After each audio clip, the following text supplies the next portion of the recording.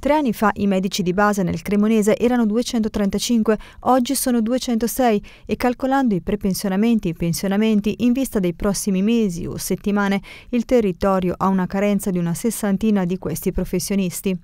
Una situazione che riguarda anche altre zone, ma che ora nel Cremonese si sta cronicizzando.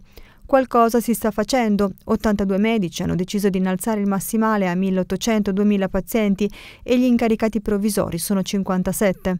Nonostante ciò, però, la sanità territoriale è in affanno. Sulla provincia di Cremona siamo oltre, oltre 60 e adesso ci sono anche altri pensionamenti e la situazione sarà così per i prossimi 3 o 4 anni almeno in attesa di poter vedere l'arrivo di nuovi medici di base.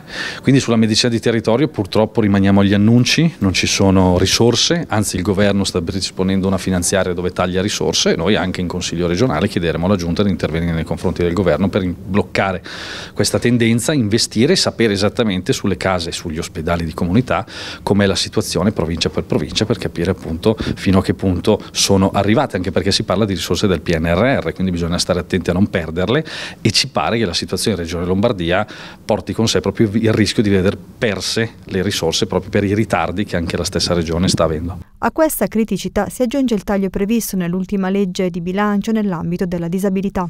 Disabilità, famiglie, persone con disabilità. Il governo ha presentato oggi la proposta di, di, legge di bilancio che inizia il suo iter parlamentare, prevede 400 milioni di euro di taglio alle politiche per le persone con disabilità. Noi oggi proporremo una mozione urgente per chiedere alla Giunta di intervenire nei confronti del governo non solo per bloccare questa scelta che va contro gli interessi e la qualità della vita di queste persone, ma di mettere più risorse, perché se non si parte dai più deboli io credo che non sia degno di essere chiamato Stato un paese come il nostro.